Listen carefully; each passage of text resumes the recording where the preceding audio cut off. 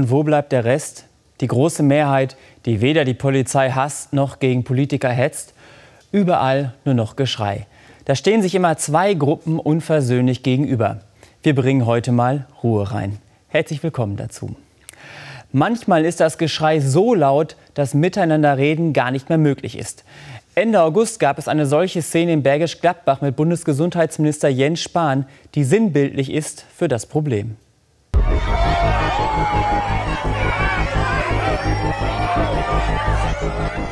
Die Meinungen sind nicht mehr gewichtet. Jede ist gleich viel wert. Jede ist, ist gleich richtig erstmal oder gleich wahr. Insofern, damit sie gehört wird, wahrgenommen wird, muss ich sie immer lauter, greller, schriller, brutaler, äh, oft finde ich wirklich hysterischer in die Welt tröten. Äh, und dadurch wird der Diskurs lauter, aggressiver. Ich glaube, wir haben insgesamt so etwas wie eine kommunikative Klimaveränderung in Richtung der Übertreibung, des Superlativs, der Zuspitzung.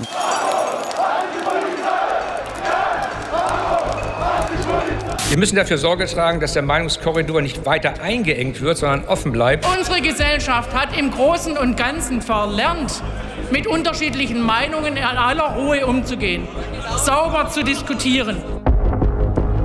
Wohin führt das, wenn sauberes Diskutieren nicht mehr möglich ist und immer gleich die Person angegriffen wird? Ja, es kann eben dazu führen, dass Menschen ihre Meinung nicht mehr so klar äußern mögen. Wir haben schon von vielen Journalistinnen und Journalisten gehört, die heftig attackiert wurden und mit denen das was gemacht hat. Kaum jemand möchte aber öffentlich darüber sprechen, was massiver Gegenwind anrichtet. Inga Mattwig hat zwei Frauen getroffen, die ganz offen sprechen. Hanna Lühmann von der Welt und Sieglinde Geisel, die regelmäßig für Deutschland von Kultur arbeitet. Früher hat Geisel noch für die Neue Zürcher Zeitung geschrieben, musste aber irgendwann feststellen, ihre Meinung passte nicht mehr so ganz zur Blattlinie. Der Ton war freundlicher als erwartet. Wir begegneten. Da war irgendwas im Mikrofon bei der Ton, das hat gepoppt, glaube ich. Kannst du nochmal ab, den Absatz? Der Ton war freundlicher als erwartet. Wir begegneten uns von Mensch zu Mensch und nicht mehr von Lager zu Lager. Mein Name ist Siglinde Geisel, ich bin Journalistin, Literaturkritikerin vor allem und mache auch viel Radio. Ich habe über 20 Jahre für die Neue Zürcher Zeitung gearbeitet, vier Jahre aus New York als Kulturkorrespondentin, dann wieder aus Berlin. Und ich habe oft Dinge geschrieben, die nicht dem entsprachen, was im Leitartikel stand. Und ich habe mich immer ein bisschen gewundert, dass ich so viel Spielraum hatte. Und dann hat die Stelle des Feuilletonchefs gewechselt. Ich hatte einen Artikel, eine Reportage über muslimische Männer in Neukölln. Das war so nach der Kölner Silvesternacht. Was ist eigentlich mit diesen muslimischen Männern los? Ich zitiere den Migrationsbeauftragten des Bezirks Neukölln und der sagt mir, ja, wir stellen fest, dass mehr ähm, junge Männer aus diesen schwierigen arabischen Clanfamilien jetzt auch studieren und sich lösen aus diesem mm, Milieu. Und ich habe die Reportage abgegeben, dann hieß es, ja, äh, wir hatten uns was anderes erwartet, das liegt auf Eis. Und dann wurde ich vom neuen Feuilletonchef selber redigiert und ich empfand das Redigat äh, in großen Teilen als tendenziös und wir haben uns dann ziemlich gestritten.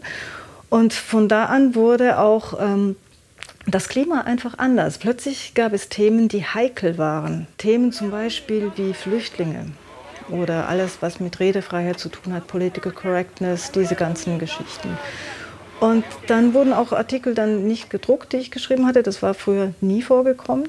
Und das war einfach etwas, wo ich merkte, ich fühle mich nicht mehr frei. Ich merke, es wird was ganz Bestimmtes erwartet und das war eine Erfahrung, die ich noch nie hatte. Und ich merkte interessanterweise auch, dann fällt mir nichts mehr ein. Dann werden die Artikel auch wirklich schlechter. Ich kann so nicht arbeiten.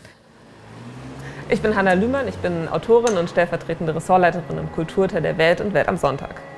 Und ich bin vor einer Woche Mutter geworden. Ich habe ungefähr seit 2014 schon das Gefühl, dass Diskussionen im Internet, vor allem eben im journalistischen Bereich, im aktivistischen Bereich, immer aggressiver werden. Und dass es eine gewisse Tendenz gibt, Leute anzugreifen, von denen man das Gefühl hat, sie teilen die eigene Meinung nicht. Und ich denke auch gleichzeitig als Journalist muss man das natürlich irgendwie aushalten. Das erste Mal, dass ich so einen richtigen Shitstorm hatte, war bei einem Feminismus-Thema, wo ich so ein bisschen über ähm, das Phänomen des Internetaktivismus, Feminismus geschrieben habe und darüber, dass ich viele Sachen, die da stattfinden, sehr humorlos finde. Und damals hat mich das noch mit abgenommen. Dass halt so getan wird, als würde man das Hehre, Gute und Schöne verletzen, einfach nur, wenn man vielleicht mal versucht, eine Sache von Grund auf zu denken. Da reagieren dann schon einige Leute, vor allem auf Twitter, ähm, sehr, sehr empfindlich und ähm, stellen einen halt schnell in eine rechte Ecke an Stellen, wo es einfach nur abwegig ist, weil ich natürlich nicht rechts bin, also nicht annäherungsweise. Und ähm, das finde ich halt sehr schade, so diese Polarisierung, also dass es immer nur noch dieses Entweder-Oder gibt. Es ist einfach ein sehr erhitzter Diskurs. Es ist vielleicht fast ähm, nicht eine Verengung, sondern es ist der, die Empfindlichkeit, die gestiegen ist. Ich glaube, dass man manchmal das Gefühl hat, dass die schärfste Kritik schon wieder von links kommt gegen die Linksliberalen selber. Das hat auch einfach mit dieser unseligen Überhitzung zu tun. Also wir sind jetzt einfach in einem Stadium, das ist wie so, wenn sich eine Wunde entzündet, dann ist jede Berührung ist schmerzhaft. Man kann gar nicht mehr äh, trennen von dem, dass es eigentlich eine Berührung war, die nicht wehtun wollte. Ich würde auf jeden Fall sagen, dass die Angst, das Falsche zu sagen oder die falschen Begriffe zu verwenden, das Denken nicht unbedingt klarer macht. Und ich versuche natürlich nicht, mich selbst zu zensieren, aber diese Angst schreibt schon mit. Und wenn ich da nicht einfach in mich hineinhören kann und schreibend herausfinden, doch, ich glaube, das passt zu dem und das, wenn ich das in dem Kontext sehe und so weiter, dann bin ich verloren. Wenn ich schon weiß, ich darf aber nicht zu sehr auf die Seite, ich muss aber auch noch bemerken, dass es noch den Aspekt gibt, dann bin ich verloren. Dann, äh, dann, dann komme ich nicht in Flow beim Schreiben. Und das ist die Beschädigung durch das Ding. Und ich glaube, ich löse das dann immer eher, indem ich dann noch 20 Reflexionsebenen versuche, in den Artikel irgendwie einzuziehen und damit irgendwie deutlich zu machen, was ich eben nicht meine oder mit welchen Lagern ich mich nicht gemein machen möchte. Aber das gelingt nicht immer. Ich glaube schon, dass ich manchmal Sachen nicht so deutlich sage, wie ich sie sagen könnte, weil ja, weil da auch eine Angst ist. Wir sind ja alle in, in unserem Denken nicht rein. Also wir sind ja alle geprägt von, von ganz vielen Vorurteilen, die wir unbewusst mit uns tragen. Und wenn man dann jemanden, der daran aufhängt, dass hier etwas wieder sichtbar geworden ist, was eigentlich uns alle angeht, das verzerrt die Debatte auch total. Ja, man will ja auch geliebt werden von seinen Lesern irgendwie. Oder man, ähm, also man hat vielleicht Angst vor vor dem Liebesentzug eines äh, Milieus, in dem man auch unterwegs ist oder in dem man auch äh, sozialisiert ist. Und ähm, ich habe Angst, dann von meinen Freunden missverstanden zu werden, die dann vielleicht auch nur Überschriften lesen, die ja zwangsläufig oft ein bisschen provokanter sind. Oder auch Angst vor dem, vor dem Zeitungsmilieu, vor dem Journalisten, Milieu. Also in dem gibt es sehr, sehr viele Freigeister und Leute, die, die frei denken und die ganz toll schreiben. Aber es gibt natürlich auch sehr viele Leute, die sich eben auf eine bestimmte ideologische Agenda eingeschworen haben, ohne dass sie das, glaube ich, selber unbedingt so wissen. Nee, du versprichst dich ja quasi kaum. Danke. Und so sind Irrtümer und Fehlentscheide kein Skandal, sondern unvermeidlich. Wie wäre es, wenn wir uns darauf einigen könnten? Die Angst vorm Ausschluss aus der Gruppe. Es mag ein wenig überraschen, aber ein Blick in die Tierwelt kann da weiterhelfen. Denn dort organisieren sich auch einzelne Tiere in einer großen Gruppe, etwa um sich gegen Angreifer zu verteidigen. Logisch, zusammen ist man stärker. Was hat das mit den Debatten von heute zu tun? Auch dort gibt es den Reflex, sich mit einer Gruppe, einer Partei oder mit einem Lebensstil zu identifizieren. Nils Altland hat einen Experten gefragt, was da eigentlich für Mechanismen greifen. Warum gibt es in politischen Debatten so oft nur Schwarz und Weiß? Wo sind die Grautöne? Für den Philosophen Philipp Hübel liegen die Gründe in urmenschlichen Bedürfnissen. Die Anthropologen haben das relativ gut nachgewiesen, dass Menschen dazu neigen, sich immer Gruppen zu suchen, mit denen sie sich identifizieren.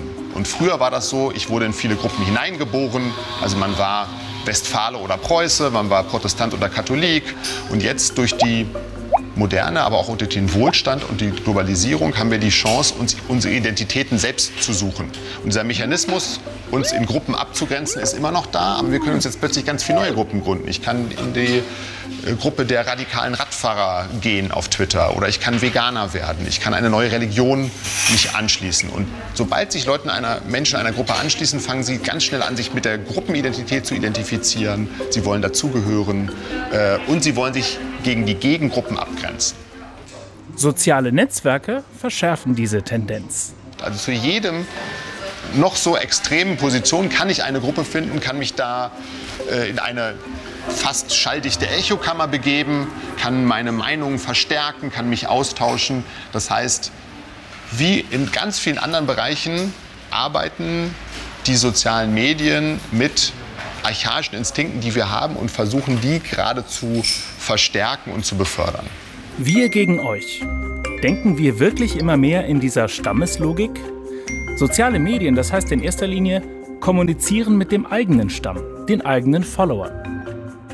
Stellt sich die Frage, Wer hört jetzt hier eigentlich alles zu? Also bei Twitter, öffentlich, wer guckt mich an? Ist es den Menschen immer zuerst wichtig, die richtigen Signale an die eigene Gruppe zu schicken. Also erstmal der Gruppe zu signalisieren, ich gehöre dazu, ich habe die richtige Moral. Und die Menschen überschätzen aber die Moral der eigenen Gruppe. Sie glauben immer, die Gruppe ist viel extremer, als sie in Wirklichkeit ist. Denn im Netz fehlen uns soziale Signale, die uns im persönlichen Gespräch Orientierung geben. Kritische oder wohlwollende Blicke, zustimmendes Nicken oder ablehnendes Kopfschütteln. Man weiß nicht, was der andere genau für eine Meinung hat. Man hat ja keinen Test eingeholt ne, mit zehn wichtigen Fragen zu moralischen, politischen Themen, sondern muss eine Schätzung abgeben und man möchte auf keinen Fall auf der falschen Seite stehen. Man möchte nicht das, ein Signal senden, das vielleicht mehrdeutig ist oder nicht eindeutig zuordbar ist. Das heißt, nehmen wir nochmal das Beispiel Einwanderung. Die Linken sind für Einwanderung, die Rechten sind dagegen. Was mache ich jetzt, wenn ich in der Mitte bin? Ich sage, naja, ich bin für Einwanderung, aber es soll auch reguliert werden. Das könnte so klingen, wenn ich sage, es wird, soll reguliert werden, als gehöre ich zu den Rechten. Ich möchte aber nicht zu den Rechten gehören. Aber ich bin jetzt auch nicht am linken Rand. Was kann ich machen? Ich würde eher dazu tendieren, vielleicht nichts zu sagen, weil ich nicht falsch verstanden werden müsste.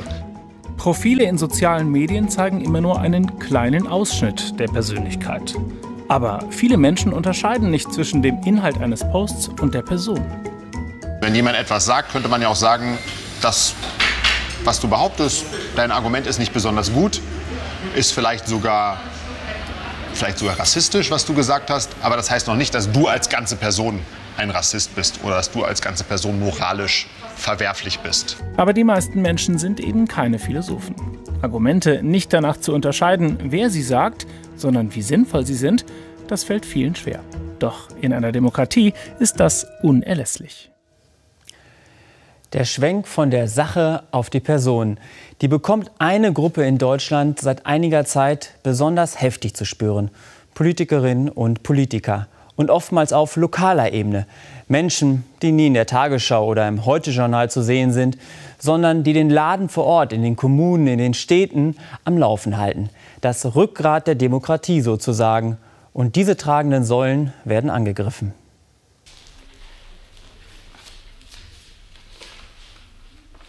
Die Briefe haben zum Inhalt, äh, dass man mich beschimpft, dass äh, ich korrupt bin, dass ich inkompetent bin und äh, dass ich aus diesem Amt gehöre, dass man mich raustreiben will und eben so weit, dass man mir Angst macht.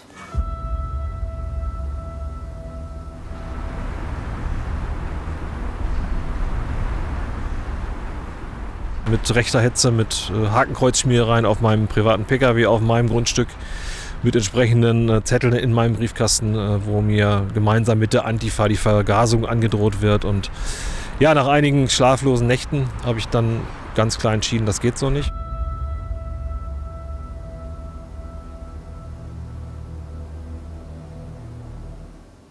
Deswegen bin ich auch, auch heute hier, um offen zu sagen, ähm, was eigentlich mir trotzdem schwerfällt, von Gefühlen zu sprechen, von Verletzungen zu sprechen, dass ich eigentlich zum Beispiel eine sehr starke Frau habe, eine richtige Powerfrau, die bis heute in äh, psychotherapeutischer Behandlung ist. Weil Codebriefe, die kommen, wenn man in die Reihen greift, weil die Bedrohungen, die über lange Zeit bei uns waren, Wir hatten ein Dreivierteljahr lang Polizeischutz, rund, also rund um die Uhr, weil das ja ganz viel macht.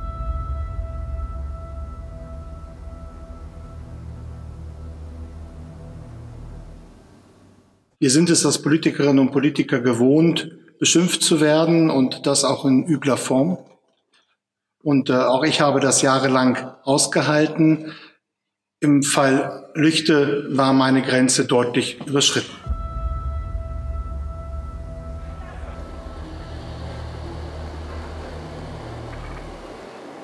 Ich hatte konkrete Morddrohungen, es gab Vergewaltigungsaufrufe gegenüber meiner Frau, es gab Aufrufe gegenüber meinen Kindern, die sind eins und drei Jahre alt. Das ist ja total gaga. Der Hass trifft diese Menschen auf Plattformen wie Facebook oder Twitter. Müssten also nicht die Betreiber dieser Plattformen stärker dafür sorgen, dass all das so schnell wie möglich wieder verschwindet? Immerhin verdienen sie Milliarden damit, dass ihre Plattformen weltweit genutzt werden. Das klingt erstmal nachvollziehbar, doch mehr Verantwortung für die Plattformen birgt auch Gefahren für die Meinungsvielfalt. Tim Kuckreil. Minneapolis in den USA.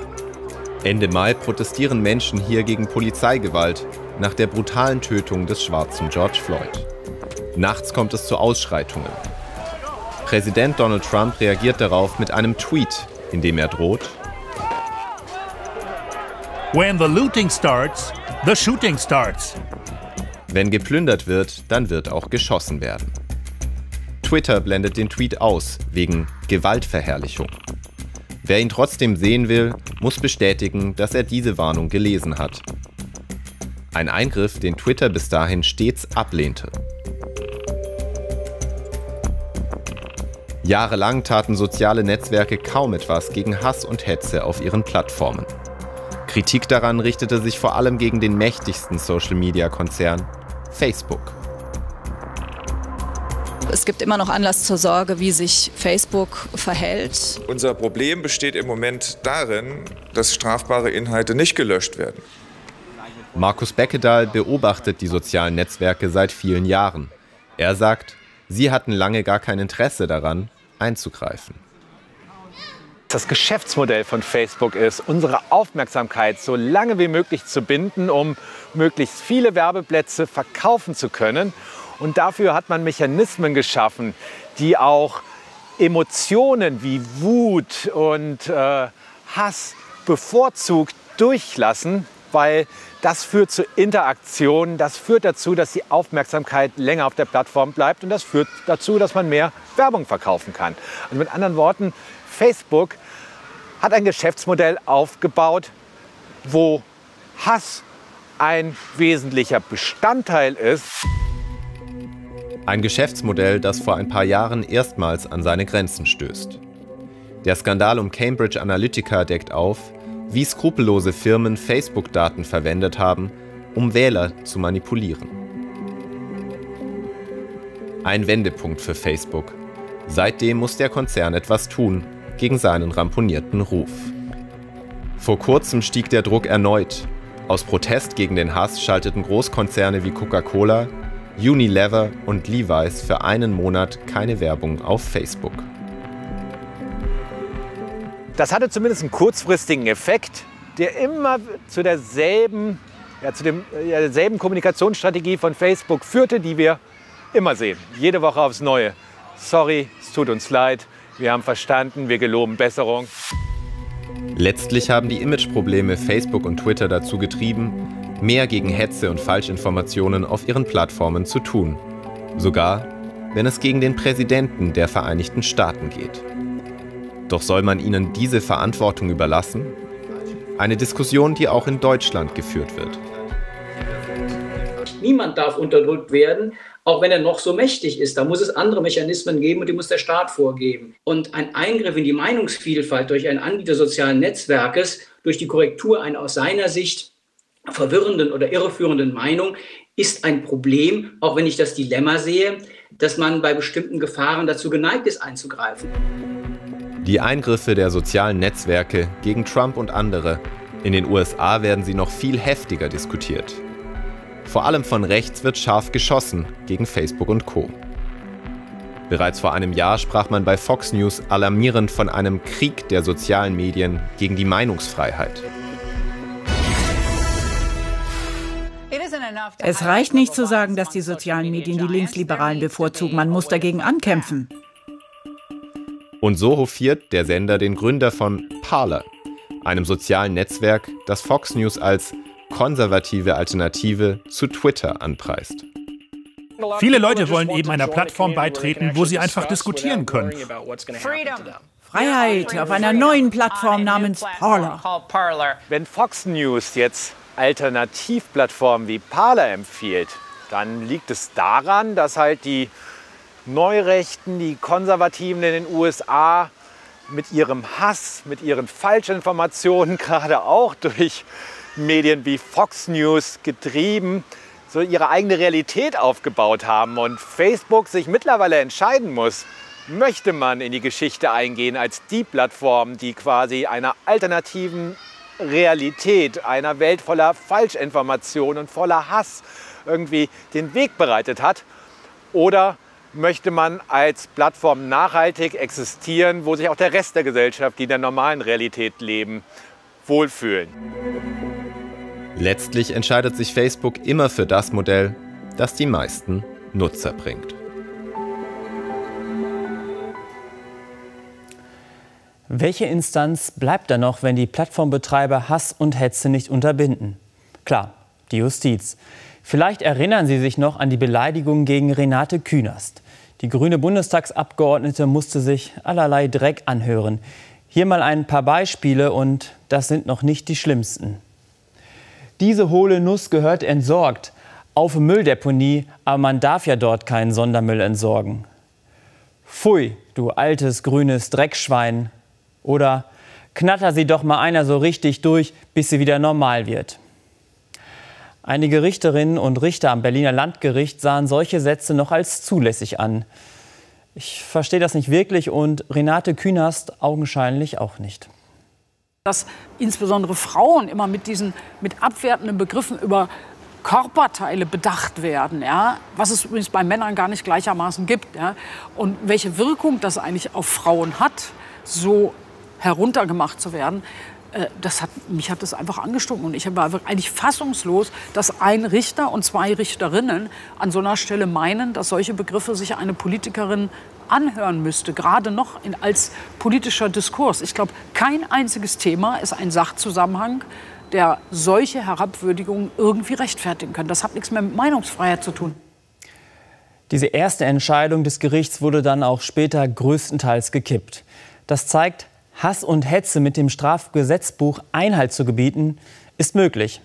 Aber es muss auch der Wille da sein. Caroline Schmidt. Es trifft Journalisten, Politiker, Anwälte, Künstler, Menschen wie Dunja Hayali, Peter Tauber, Seda Basayildis, Mike Moring, Idil Beider. Sie alle haben anonyme Morddrohungen erhalten. Die Absender Rechtsextremisten. Betreff Warnung. Guten Tag. Verabschiede dich. Geben Sie den Wahlkampf auf. Du wirst bald zum letzten Mal das Tageslicht sehen. Wir werden versuchen, Sie auf der nächsten öffentlichen Veranstaltung niederzustechen. Wir verfolgen dich. Wir sehen dich. Und morgen bist du tot. Das ist eine Warnung. Eine zweite wird es nicht geben. Es ist gefährlich, in der Öffentlichkeit zu stehen, seine Meinung zu sagen, Haltung zu zeigen. Nicht nur im anonymen Netz wird heute gehetzt, sondern auch auf offener Straße. Wenn Politiker als Kindermörder bezeichnet werden, weil sie Kinder impfen wollen, finde ich das richtig. Widerstand! Lügenpresse! Rauf auf die Fresse! Ihr werdet noch abgeurteilt. Wartet's ab. Das rufen Demonstranten. Redner wie Attila Hildmann sind noch brutaler. Herr Volker Beck, das ist ein Politiker der Kinderfickerpartei Die Grünen. Also wenn ich Reichskanzler wäre, dann würde ich die Todesstrafe für Volker Beck wieder einführen, indem man ihn die zertrete auf dem öffentlichen Platz. Das klingt wie eine handfeste Morddrohung. Und die Justiz? lässt sich Zeit. Wie so oft. Viele haben Zweifel an der Strafbarkeit. Solche Aussagen seien empörend und übelste Hetze, erklären Juristen aber nicht rechtswidrig. Auch die ermittelnde Staatsanwaltschaft sagt, sie sehe bisher keine Handhabe. Strafrechtsprofessor Matthias Jahn findet das problematisch. Wenn es Einzelne gibt, die in der Öffentlichkeit sich mit solchen extremen Äußerungen straflos artikulieren können, dann folgen möglicherweise andere, die bisher gezögert haben, diesem negativen Vorbild. Fatal, zumal die Äußerungen aus seiner Sicht womöglich strafbar sind. Man muss eben nicht nur auf den Wortlaut dieser Äußerung schauen, sondern das, was Herr Hildmann damit bezweckt, nämlich äh, das Volk zu verhetzen gegen Einzelne, die sich mit politischen Meinungen in der Öffentlichkeit exponieren. Und dann käme man zur Strafbarkeit. Solche Reden peitschen auf, sagt auch die ehemalige Bundesverfassungsrichterin Gertrude Lübbe-Wolf. Das Schüren von Hass äh, ist in Bezug auf einzelne Personen genauso verwerflich wie in Bezug auf einzelne, auf einzelne Bevölkerungsgruppen, auch wenn es da nicht unbedingt gleich zu größeren sozialen Verwerfungen kommt, aber es kann eben dann auch zu einzelnen Taten kommen. Eine gefährliche Situation. Das finden immer mehr Politiker und Juristen. Viele Bundesländer wollen nun stärker gegen Hass vorgehen. Einige haben dafür sogar Zentralstellen in ihren Staatsanwaltschaften eingerichtet. So haben etwa Nordrhein-Westfalen und Hessen in ihren Zentralstellen sich darauf spezialisiert, auf entsprechende Meldungen der großen Betreiber sozialer Netzwerke wie Facebook, wie Google, wie Twitter zu reagieren und das zeitnah zu tun und das auch mit Expertenwissen zu tun. Schnelles Vorgehen gegen Hass im Netz und auf der Straße. Das kostet Geld, sei aber nötig. Man muss für die wirklich krassen Fälle Strafverfolgung betreiben. Sonst bleibt das, was der Staat androht, eine leere Drohung. Und der Staat läuft Gefahr, sich lächerlich zu machen, weil die Äußernden merken, dass sie sozusagen gefahrlos einfach einmal im Netz oder im öffentlichen Raum äh, Angriffe starten können, ohne Gefahr zu laufen, tatsächlich mit Strafe belegt zu werden. Das Umdenken setzte ein nach dem Mord an dem Kasseler Regierungspräsidenten Walter Lübcke. Im Vorfeld hatte es viel Hetze im Netz gegeben. Früher hätte man solche Fatzkes geteert, gefedert und mit der Mistgabel durch die Straßen getrieben. Dieser Hans Wurst gehört gelyncht. Die KZs sind ja leider außer Betrieb. Und dann war der Politiker tot. Und genau das ähm, ist das Problem, wenn man äh, mit solchen Gewaltfantasien hausieren geht und Menschenmengen aufpeitscht.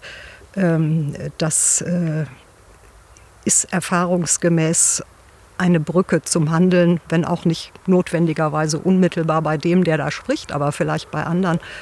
Ähm, und es gibt auch keinen Grund, keinen vernünftigen, äh, das hinzunehmen. Der Bundestag verschärfte kürzlich wieder die Gesetze gegen Hassrede. Schritte, die irgendwann Wirkung zeigen werden. Wir sind darauf angewiesen, dass sich Bürgerinnen und Bürger äh, exponieren, im öffentlichen Meinungskampf ähm, positionieren und politisch engagieren. Und wenn wir das dadurch gefährden, dass wir Extremisten zu großen Raum einräumen, dann ist das eine Entwicklung, die gefährlich ist und die für unsere Demokratie auf eine schiefe Ebene führen kann. Die Justiz rüstet sich zum Kampf gegen den Hass, auch wenn das im Fall Hildmann noch nicht zu merken ist. Die Staatsanwaltschaft hat nach zwei Monaten immer noch keine Anklage erhoben. Das war es von ZAP. Ihnen einen schönen Abend. Hier geht es jetzt weiter mit sieben Tage unter Pfadfindern. Tschüss.